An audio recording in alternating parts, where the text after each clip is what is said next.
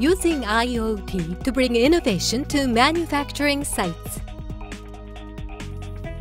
Omron's IO-Link compliant devices detect wiring cable disconnections and errors in real time to improve equipment operation rates through quick maintenance.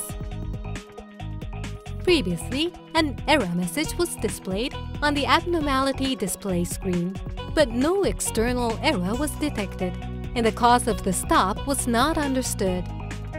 See how the IO-Link demo unit detects sensors' faulty parts and such phenomena in real time. The demo unit simulates sensor cable disconnections. A positive side of a power supply is disconnected. The demo unit detects the disconnection in real time. A negative side of a power supply is disconnected. The demo unit also detects the disconnection in real time. Next, a signal line is disconnected. The demo unit also detects the disconnection in real time. As you can see, the unit detects disconnections on both power supply and signal lines.